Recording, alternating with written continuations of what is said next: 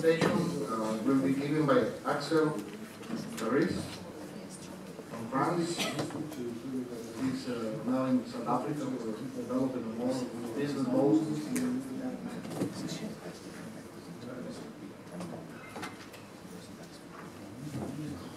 If you want, we can make a siesta before the presentation.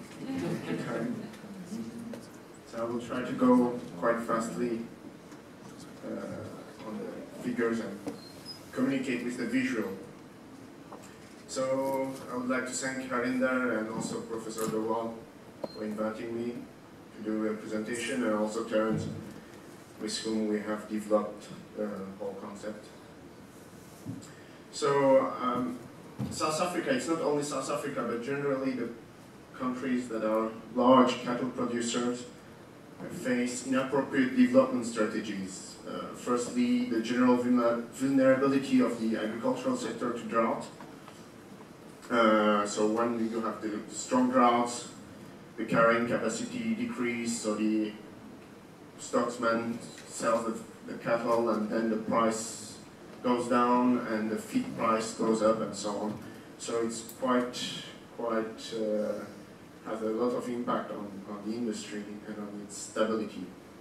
And uh, secondly, uh, on the dependence of on conventional feeds that are becoming a more and more expensive option.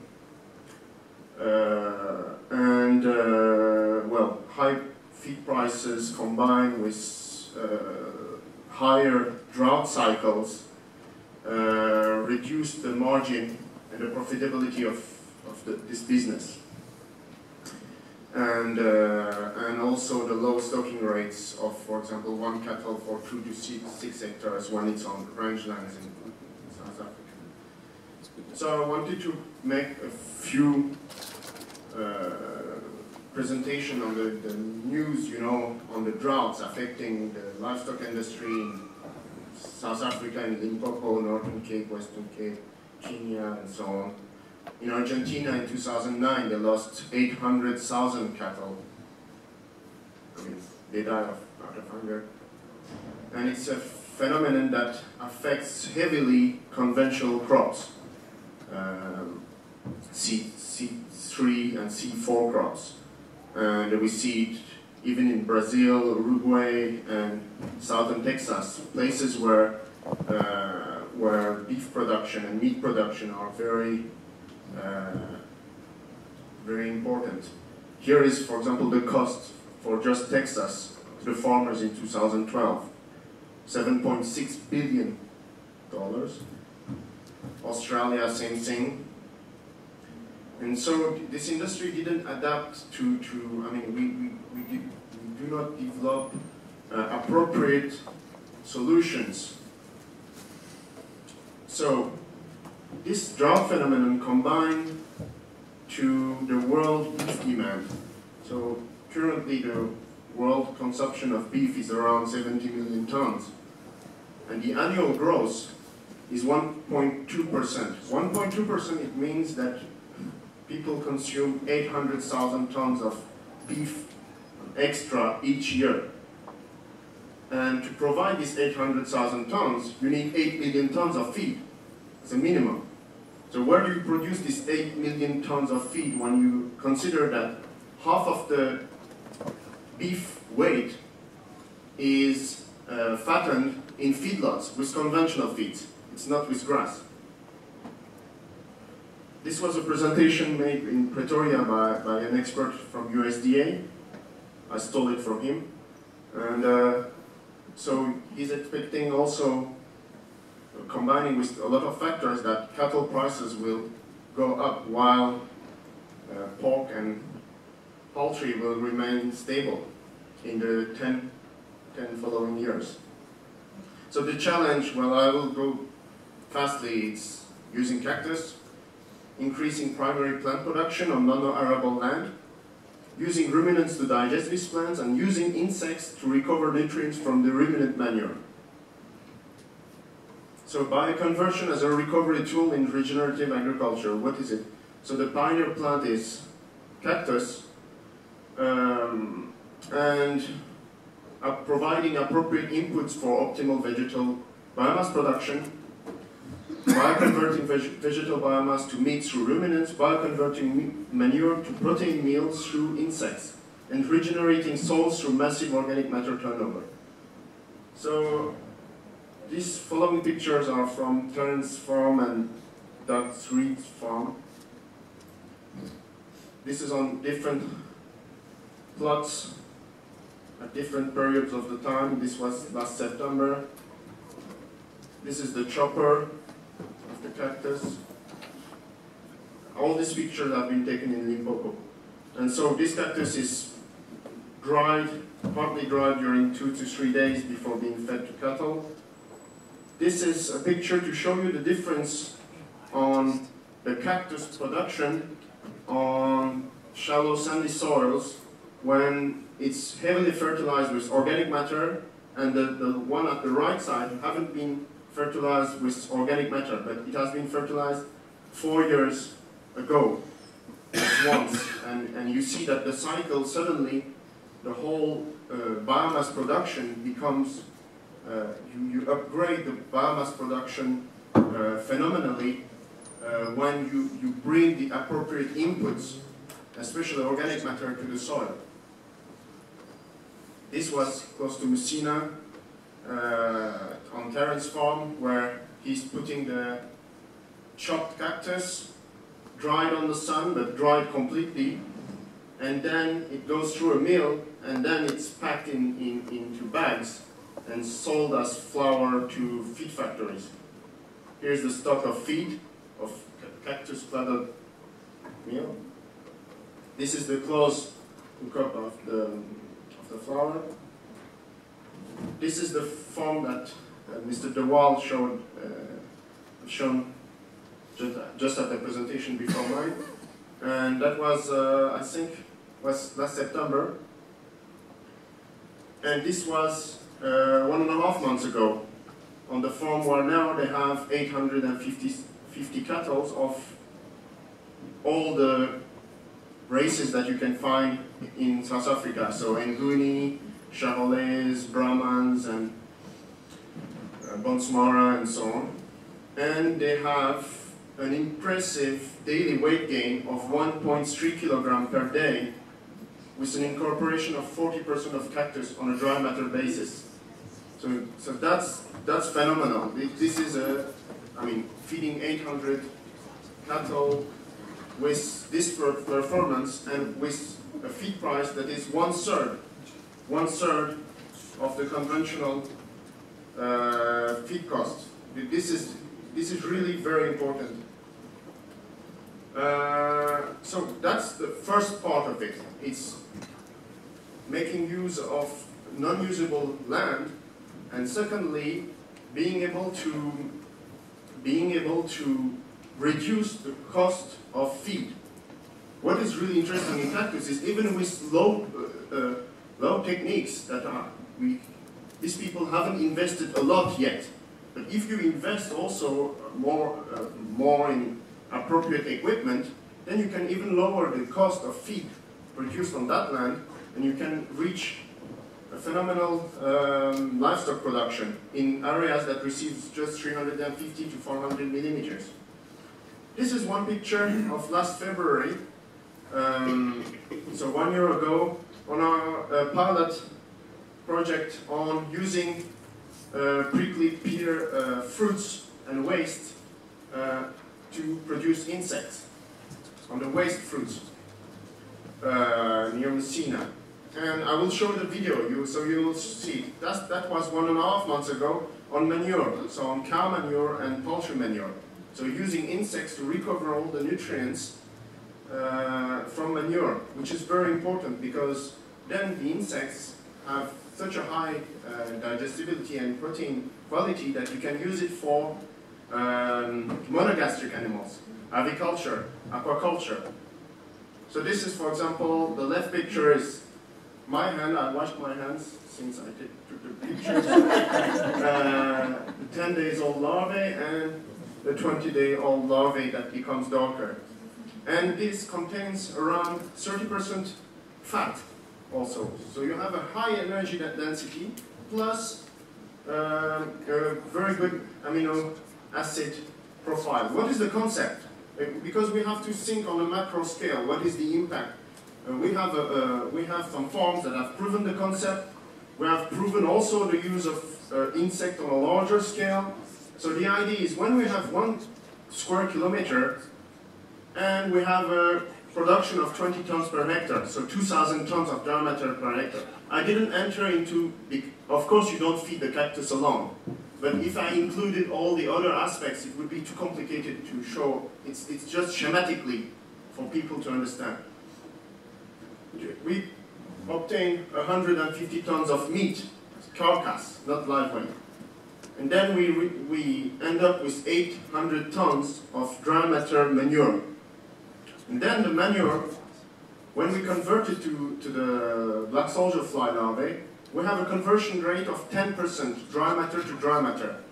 So if you have 800 tons of dry matter manure, we end up with 80 tons of dry matter larvae, which ends up into 32 tons of protein and 25 tons of fat, which is, which is very important. And the second product is you end up with 400 tons of digested manure. This is not dry weight. This is not dry weight.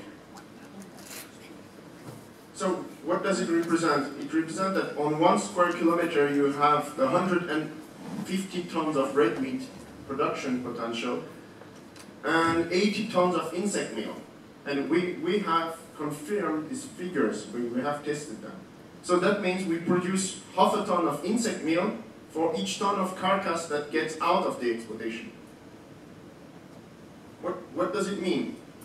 It means that it's equal, 80 tons of insect meal is equal to 50 tons of fish meal equivalent on amino acid basis. And to produce 50 tons of fish meal, you need to catch 175 tons of fresh fish from the sea to produce that meal. So that means that if we have a concept where we have 100, uh, 100 hectares or one square kilometer of cactus uh, properly managed, with a properly managed feedlot, we can, and, and, and a manure collection system, which have also a bioconversion shed where it's properly managed, we can end up recovering the equivalent of that amount of protein per square kilometer. And well, this is things that you know. I mean, because if we are in a system that's not really extensive, but more in intensive management, we can just year by year improve the, um, the organic matter content of the soil. What was the potential on large scale? South Africa currently produces 800,000 tons of beef meat, plus 200,000 tons of game meat. So, but let's say to produce this 1 million ton of red meat, could be produced on 7,000 square meters, uh, square kilometers. So which is less than 1% of South African land area. And which joins also the figures uh, communicated by Brazil. And I'm glad that it was communicated by Brazil, so that people don't say that I'm lying about this figure. And, and that could represent also half a million ton of insect meal produced. So what can be achieved? Uh, of course, with complementary feed and so on, we can achieve 100 to 270 tons of beef carcass per year per square kilometer, depending on rainfall, of course. We can produce that figures if we are on 250 millimeters of rainfall in the Karoo. But if we are on 400, 450, or even 300, even if we were, three, threefold lower uh, figures, it would be still interesting. And per comparison, what I was wanted to compare is what if we have one square kilometer of arable land on irrigated soybean and maize silage, we would get 120 tons of beef per year on average figures of average yields that you have on soybean and maize in South Africa. So this is also, well, it's not only on cactus, it was to show that you have a protein recovery from the primary plant production to the end, to the insect, you recover 13% of protein, which is tremendous when it's done on a large scale. Instead of giving back this 13%, uh, protein back to the soil as organic matter, you are going, giving it back to the soil, but you are recovering it. It's like heat recovery, all the energy efficiency you know, schemes and so on. Here we have a technology that could allow to have very efficient agricultural production on, um, on dry lands and arid, arid climates and semi-arid climates. And most of the beef product, production areas in the world are based, I mean, in Australia, Argentina, South Texas, and so on, are in semi-arid lands because it's better to grow also beef. It's, it's easier than having it in Manaus with all the rainfall. So I just want to, before I, I, I end up the presentation, I just want to show you the, the, the movie. Well, I haven't been able to cut because I'm not a good movie maker. So- doesn't focus. So you can see that the harvesting cuts from down. Yeah. You can see the fix. And you can see what happens if we harvest it here. But this is this is the this is the plantation of Terence. Yeah. And so on the left is the the, the, uh, the plantation where he didn't put the organic matter, and on the right side you see the difference. Tell us, um, I mean, and this organic matter just one. And uh, and so he put that. I'll put on a box. And I'll leave it. Okay. And uh, can, can you you want me to leave it like this? We're talking these things. No, in 2007. Four years ago. No, the, the, the organic matter. Four years ago. So, so he put organic matter four years ago, so people were kind of impressed of the size of the. Very small area. You can see now, this is now what it looks like in the ground here. Can you see? It's, and you can fucking smell it. It's like, it's like, uh, Yeah, and this is on sandy cuck soil. There's no carbon. That's what I say. Yeah, it's, it smells fungus. This is all rich. That's my worst fear realized. Okay? So, so, so this is Dan's farm where, uh, I mean, it's, uh, the cactus leaves are chopped, where the, the chopper uh, at farm is much larger.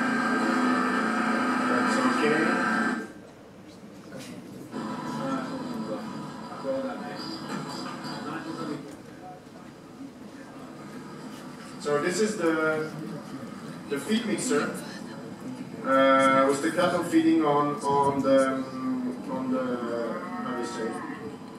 On the ration with the cactus that has been dried partly dried um, the sun. So you have all the different races and, and, and they first go for the cactus and then they eat the other thing. What is really important is the daily weight gain. I mean the and that um, I mean Doug is a veterinarian so he has a very good knowledge of animals and, and the animals were having I mean they are in a good shape and they are quite healthy. They are not you know struggling with uh, small performances. Here you see all the other animals, which is impressive.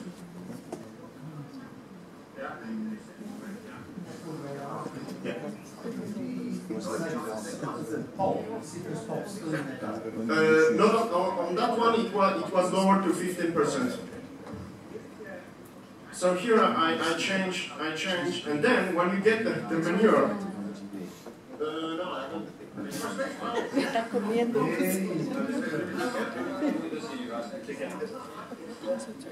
So, but this was one year ago with the cactus pear. So it was probably the first larvae that has fed on that scale on cactus waste.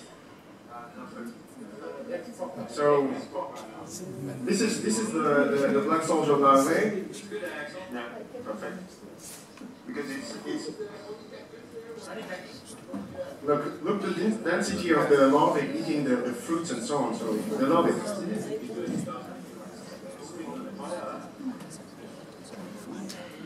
So this will be our dinner tonight. Let's prepare a good dinner with this tonight.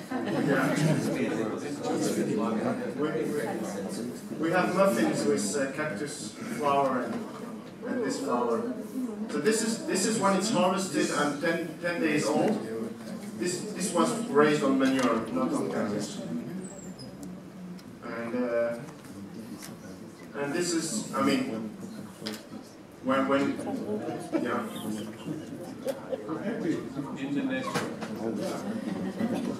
So, but the idea is not is not to see, of course, all the chickens they would and the fish they, they die for this diet.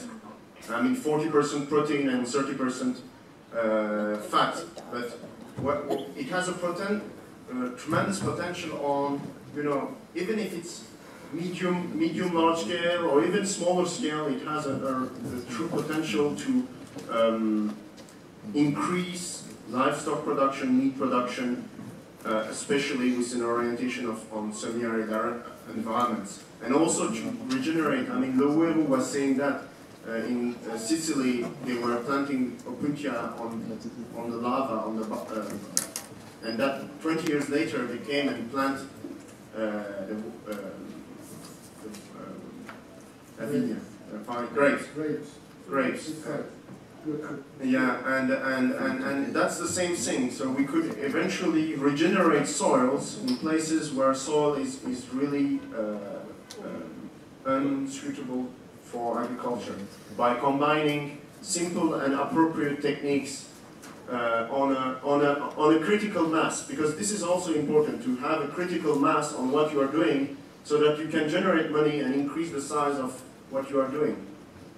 So thank you very much for your attention. Thank you, It was very, very interesting uh, presentation. Thank very much. Yeah. Any questions? Yes.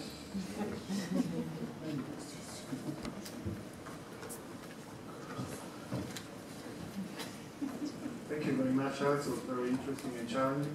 What, what kind of insect is that? And I wish to know if you, if you have a, um, a startup, or if you have a startup, if you put the insect orally, how Yeah. do you do it?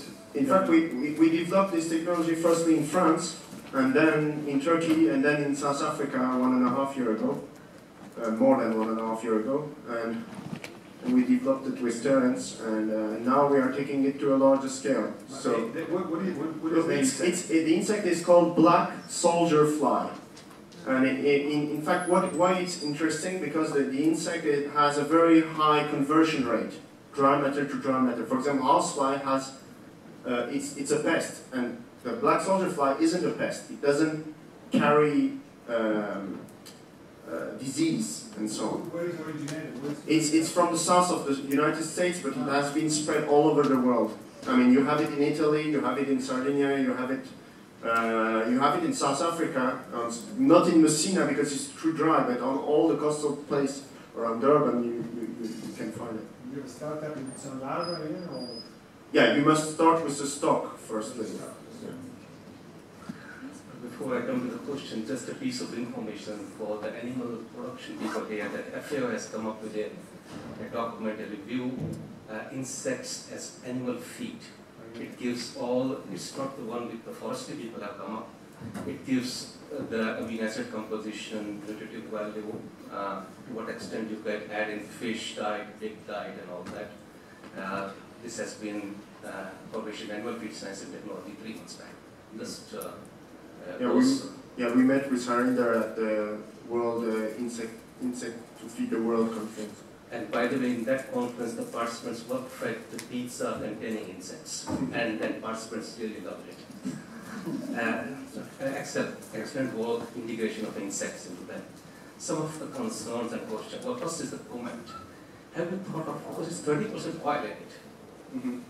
Have you thought of isolating oil 30% and, and taking it to biodiesel production? Yeah, yeah, yeah, we have, there is some techniques that are, that are used already for fish meal production, because fish also contains oil and fat, uh, that are used uh, quite cost efficiently to separate the fat out of the, out of the insect. You either, either make a soup uh, when it's wet or either process it when it's dry.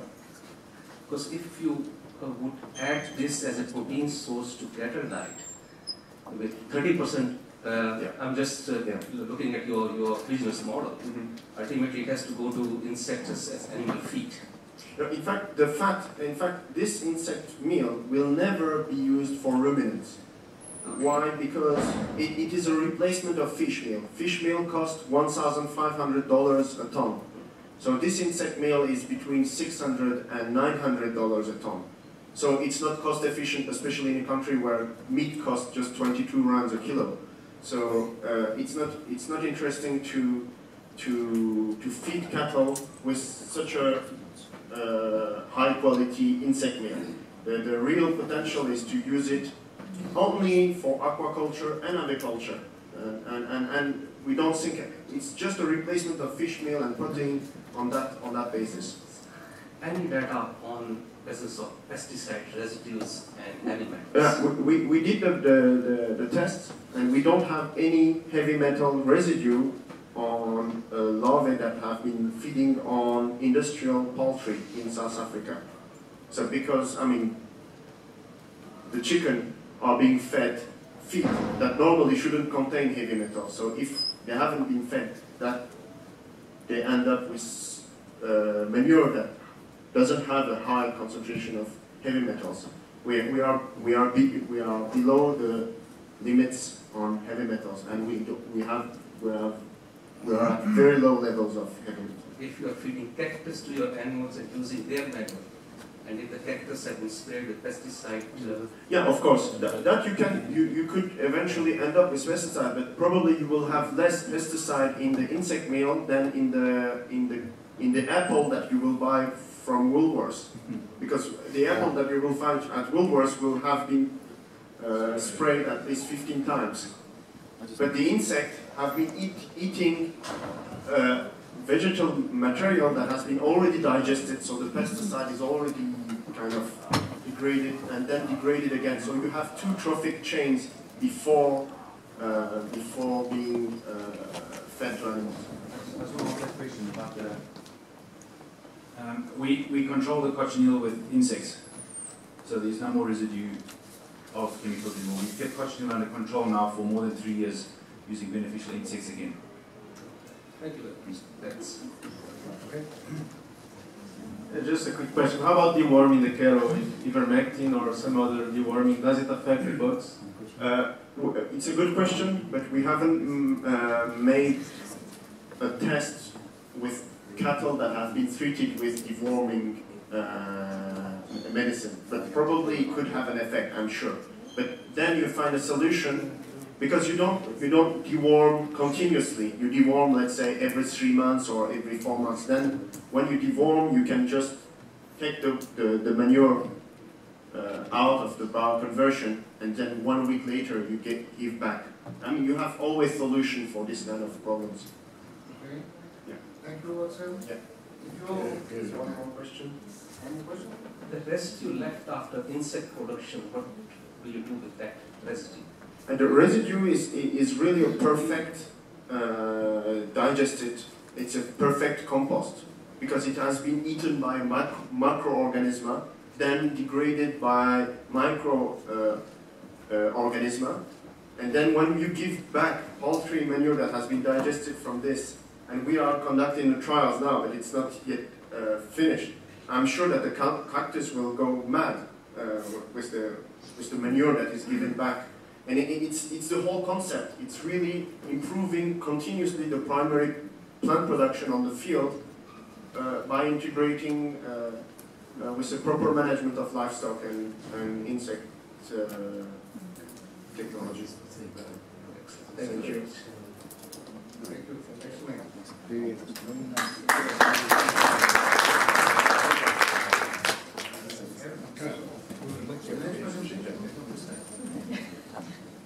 Colleagues, uh, after the next presentation, can I just have your attention please?